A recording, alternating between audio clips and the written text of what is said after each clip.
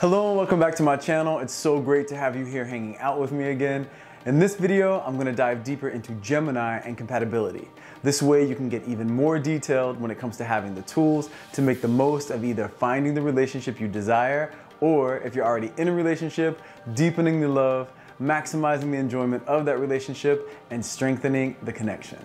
And in this video, we'll be talking about Gemini. So keep in mind as you're watching this that it will apply to sun sign and moon sign compatibility, meaning you can apply it to Gemini sun sign with each sun sign in that compatibility and Gemini moon with each sign in the moon position. For example, if I'm talking about Gemini and Taurus compatibility, it will apply to Gemini sun and compatibility with someone that has Taurus sun sign.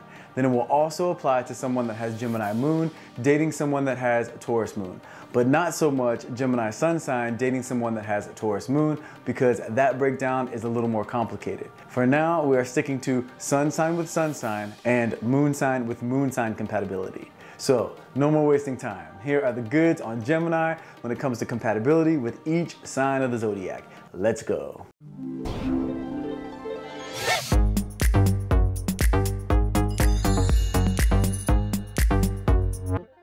Okay, so for those of you who watch my do's and don'ts videos, you know when it came to soulmate compatibility, I broke it down into three categories. So let's start with category one. And in this category it would be the best matches for Gemini. And those signs would be Aries, Aquarius, Libra, and Leo. Okay, so Aries and Gemini.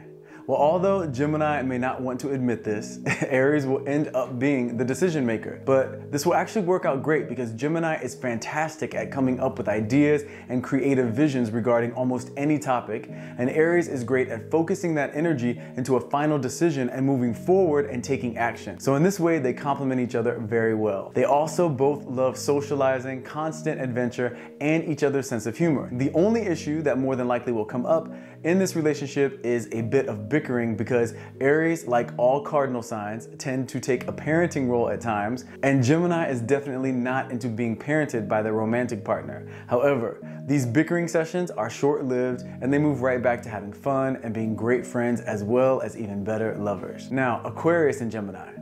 Well, these two make a great match. They both have no problem forgiving each other when their unpredictable nature gets them in trouble because they obviously have no problem understanding being unpredictable since they both can be that way. Not to mention that they both stay way too active to be pulled down by any jealousy issues. Of course, this can change if they have a lot of water in their chart, but without that factor, they both can shake off jealousy pretty quickly. They also make sure to have a strong friendship in addition to the romantic dynamic, so this really helps them to stay connected. As long as these two can be clear on what the dynamic of commitment is between the two of them, then they can have major power couple potential. Okay, Libra and Gemini. You know, whenever we have two energies from the same element, this is going to be a natural, easy connection between the two of them.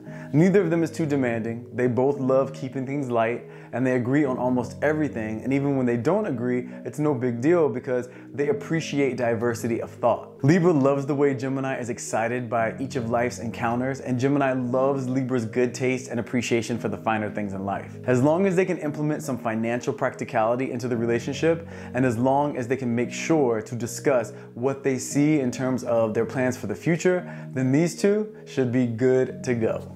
Get a definite thumbs up from me. All right, now Leo and Gemini. Now, these two definitely have more in common than they do differences. Leo's confidence invites Gemini's seductive nature, and Gemini actually has a lot of fun trying to one up Leo.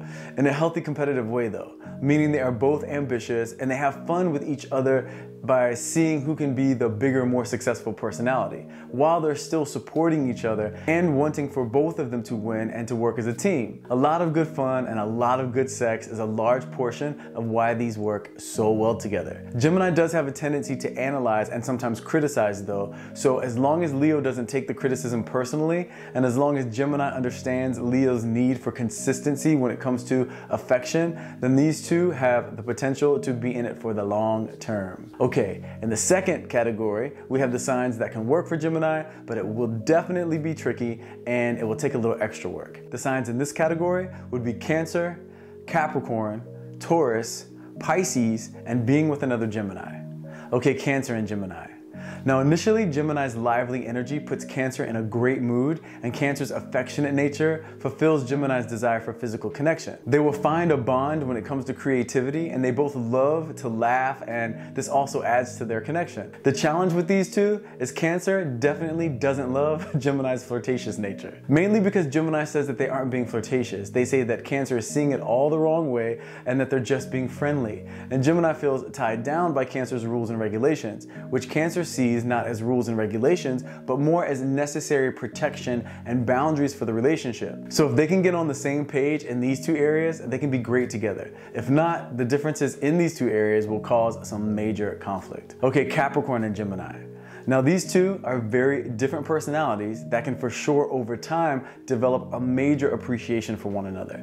Gemini can influence Capricorn to be a little more open minded and a little more lighthearted, and Capricorn can influence Gemini to be a little more focused and to be more consistent in terms of making their dreams a reality. So, if Gemini can jump on board to some of Capricorn's rules and Capricorn can loosen up in the judgmental area, these two actually have some real potential here. But without the necessary necessary compromise, it will be a continuous struggle. Gemini will struggle for more freedom, and Capricorn will struggle for more reliability and consistency in their partner. And without other parts of their chart that help these adjustments, they may find that they are much better off as friends. All right, now Taurus and Gemini. Well, Taurus loves the fact that Gemini is so excited by life, and Gemini loves the fact that Taurus is direct with their communication. So this creates a strong physical attraction between the two of them. But once we get past the physical attraction, the challenges begin. Gemini will be bored with Taurus's constant need for stability and their constant desire to have conversations and ask questions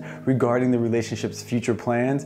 And Taurus will for sure get frustrated with how much Gemini loves to have fun expressing their freedom as an individual individual outside of the relationship. In order for this to work, these two will have to have a serious sit down conversation about what they truly and specifically require in a relationship in order to be fulfilled, and then make commitments on both sides to take the necessary and specific actions to fulfill those needs. Without this level of clarity when it comes to communication, they may find that their differences are just too plentiful to overcome. Okay, Pisces and Gemini. This is a situation where their passion for each other will be very strong. Pisces is an open, imaginative lover, and Gemini has that fun, lively, wild side that makes Pisces feel free to express themselves, which is great. The problems start to occur when Gemini finds that Pisces takes love very, very seriously, which means they can get their feelings hurt by Gemini's mischievous behavior and issues will also come up when Gemini expresses their need for freedom because Pisces is all about freedom in terms of no rules, but they do want to have experiences as a couple. And when Gemini says freedom, for them, that translates to having some alone time, which really doesn't compute for Pisces. And Gemini will then get irritated by Pisces' insecurities, and Pisces will see Gemini as insensitive. So, unless they bridge this gap with other parts of their chart that diminish these disconnecting traits, then these two will for sure have a challenging ride together. Okay, now a Gemini Gemini dating another Gemini. Now, in the bedroom, these two will have the time of their lives, but once the lights turn on and they have to exist in the real world, we're gonna have some problems. Two people with tons of ideas and exciting agendas sounds great in theory, and these two will have a lot of fun together, but they're gonna need other parts of their chart that bring a bit more practicality and consistency to the relationship if it's gonna work. This is another one of these situations where they will have to get clear on agreements regarding the goals and dynamics of the relationship. If they don't, they may just wind up up as two people that started off having great sex together and then transitioned into two friends that have a lot of laughs, a lot of good times, but somehow ended up in new relationships with different people for no reason other than the novelty of the sexual connection wore off and there was nothing else on the romantic side to grasp onto. They will have no bad blood between the two of them, they just won't have enough of a romantic emotional connection or a commitment to sustain the relationship. Okay, the third and final category would be the most challenging matches for Gemini, and those signs would be Virgo, Scorpio, and Sagittarius. Okay, Virgo and Gemini. Well, both of these signs are ruled by Mercury, so they approach situations from an intellectual perspective, which works really well in terms of compatibility because, at least in a situation when problems arise, they will be more logical than emotional. However, the main issue between the two of their personalities is that they really see the world and love so differently. Virgo will see Gemini as all over the place and impractical, and Gemini will see Virgo as uptight. now, this can actually be resolved if they have other placements that bring them together. For example, I have clients that are married and one is Gemini with Scorpio moon and she's married to a Virgo with Capricorn moon. Now, Capricorn moon and Scorpio moon are perfect together. So, emotionally, they have a very, very strong bond, and this can counterbalance the fact that their personalities are so different.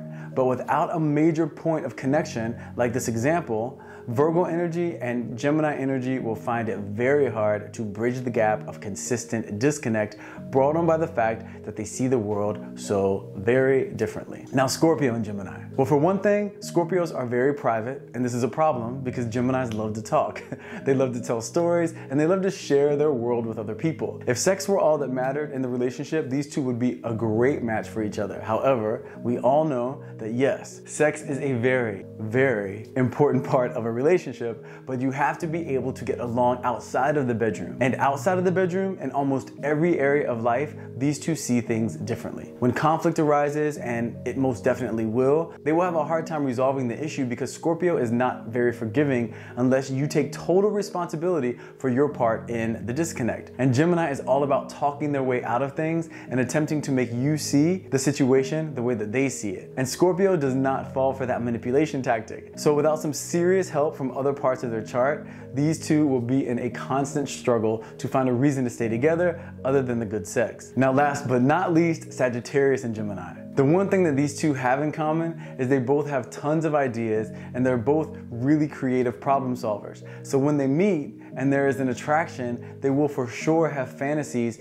of what the possibilities can bring when it comes to the love that they could share between the two of them. But this quickly, and I mean quickly, becomes a big disagreement. Now, if one person is a Sagittarius with Gemini moon, or if one person is a Gemini with Sagittarius moon, then they do have hope. However, any other version of this combination is going to be engaged in a constant uphill battle to find some way to resolve the many, many issues that come about by being in a relationship with someone that sees just about everything in the exact opposite way. Now, I know I said both of them are great problem solvers, so you would think that if they have problems in the relationship, that it wouldn't be difficult for them to solve whatever issue it is. However, because they see things exactly in the opposite way, they may both have great ideas on how to resolve it, but neither one of them wants wants to give in to the others because they don't see it as the best idea. And this is one of the types of issues that you get when you try to have two polar opposites, two people who see the world in two completely different ways attempting to have a romantic relationship together. So without them having some major other points of compatibility in their chart, it's going to be a difficult, difficult uphill battle. So there you have it. A bit more detail when it comes to compatibility with a Gemini.